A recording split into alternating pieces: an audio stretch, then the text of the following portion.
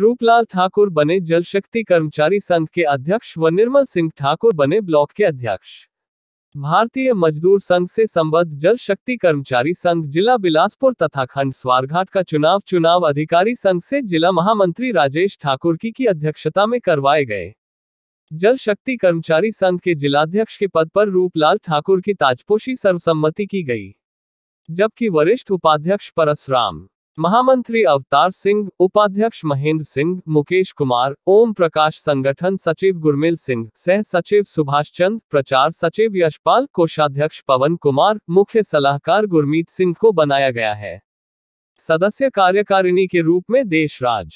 सतनाम सिंह, कर्म सिंह, सुरेश कुमार तथा हेमराज को चुना गया है। वही जल शक्ति कर्मचारी संघ के स्वारघाट ब्लॉक के चुनाव भी करवाए गए, जिसमें निर्मल सिंह ठाकुर को स्वारघाट ब्लॉक का अध्यक्ष सर्वसम्मति से चुना गया है।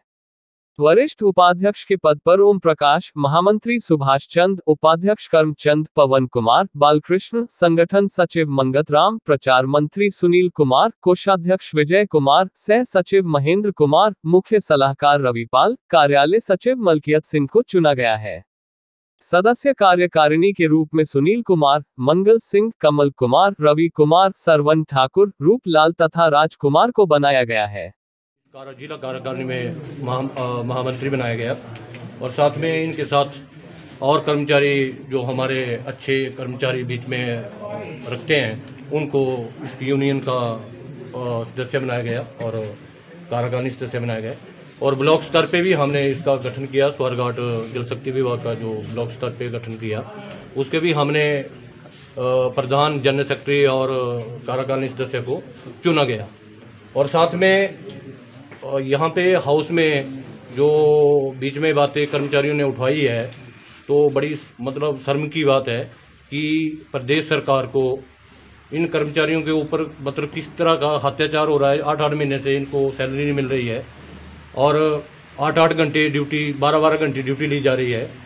तो ये बड़ी मतलब बड़ी, मैं बोलता हूँ कि बड़ी शर्म की बात है।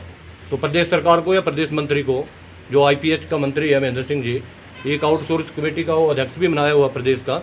तो उसको चाहिए कि जितने भी आईपीएच हमारे आईपीएच स्वारघाट ब्लॉक के हैं, बिलासपुर के हैं आउटसोर्स पे जो हमारे काम कर रहे हैं, आठ आठ, बारह बारह घंटे ड्यूटी कर रहे हैं, उनको इस आउटसोर्स जो पॉलिसी हिमाचल सरकार बनाने जा रही है उसमें इनको लिया जाए और इन कर्मचारियों को इनके मतलब आगे इनके भविष्य के मतलब चिंता करें और इनके रेगुलर होने के कोई चांस बने।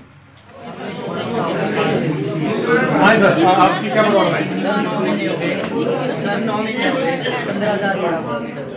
पंद्रह हज़ार नौ महीने। कौन है?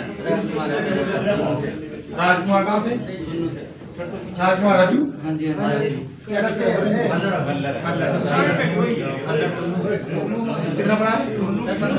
श्री नैना देवी जी से आपका फैसला टीवी के लिए सुभाष चंदेल की रिपोर्ट।